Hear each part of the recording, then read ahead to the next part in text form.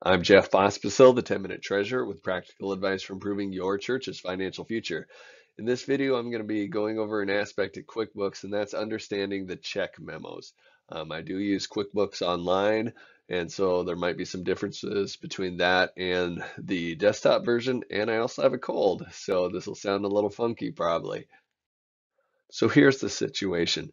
You know, I like to print out my uh, checks in QuickBooks. I think it looks clean, neat, professional, all that kind of stuff. But every now and then, and especially with like pass-through gifts, I would need to add a personal note in the memo or on the check stub. And what I do is I'd handwrite it in there. And my handwriting doesn't look nearly as good as this. So it just ruined that whole appearance of professionalism. And one of my clients called me out on this and said, could you fix this? So I decided I'd better learn. So that's what I'm doing right here. So here we are on QuickBooks Online, and hopefully I have it zoomed in enough for you to be able to follow along. And I'm going to show you how I would normally print a check. So I would go ahead and enter the bill. And for an example, I'm just going to use JCT Accounting Company. And all the default information and anything from my last bill that I paid shows up. Uh, but I'm going to put in an invoice number 123. And I'm not going to change anything else. So then in the memo, I'm going to put great job, dude. And my assumption when I very first started using QuickBooks was that what I put in the bill memo would be what shows up on the check memo. Um, just that's, I guess, my assumption. Um, so let's go ahead and pay bills. And I'm going to check that. And we're going to go ahead and save and print this. And wait for it to load. There it goes. And now preview it. And so here's my check and here's my check stub. And you can see there's my invoice number, but there's nothing in the memo. Nothing in the memo, but at least the check stub printed out. Um, the check stub, again, that has the invoice number. So for nine out of 10 bills uh, that you pay, or maybe it's even more than that, that's really what you need. The vendor needs to see that invoice number or that statement number. Um, but I didn't get anything in the memo, and that's the problem. So what I did notice is that my check memo wasn't always blank. Um, some vendors, they'll assign you an account number, and when I entered that in the vendor file, it would show up in the check memo. And I'll just show you real quickly how um, that works. So let's go ahead and look up JCT accounting in my search, JCT, and there's my vendor. And let's go ahead and go to vendor details and I'm going to edit this. And if you look there, there's the account number and it says it always appears in all uh, in the memo for all payments. So I'm just going to enter in a random number 995 and we're going to go ahead and try to repay that bill.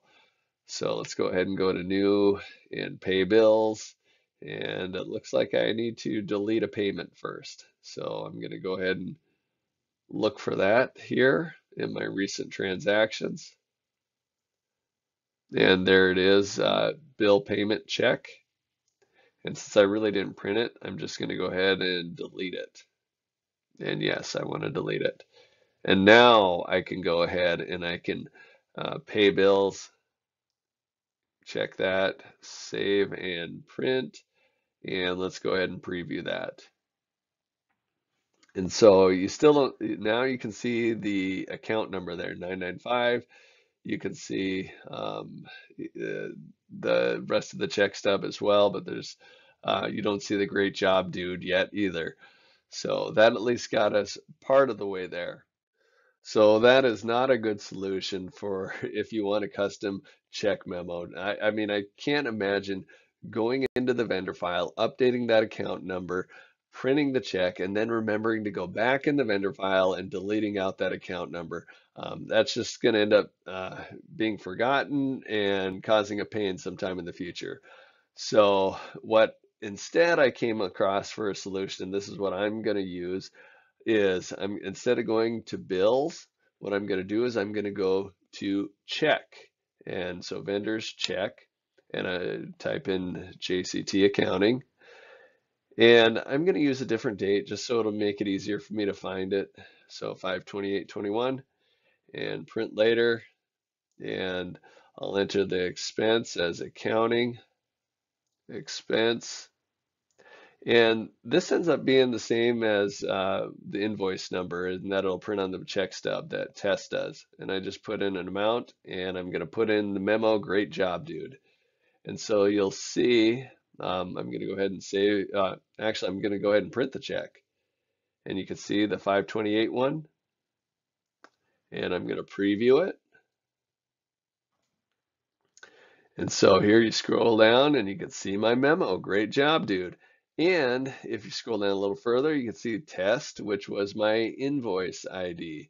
So you can have both worlds there, the, the check memo, the custom check memo, as well as the invoice ID if you do it that way.